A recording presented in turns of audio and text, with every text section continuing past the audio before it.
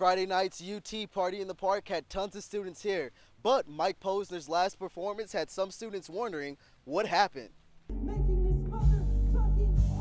EDM pop star Mike Posner had some students rocking and rolling Friday night. It was a different experience. The EDM pop star had over 2,000 students vibing all night long until his final performance. He was uh, one of the more crazier acts I've seen at a concert. Then Posner started talking about his funeral, and moments later, he walked off the stage. He ended so abruptly. He just walked off without really saying much, and we were like, is it over or not? And then it was over, so we were like, okay. Tweets, tweets, and more tweets started rolling in.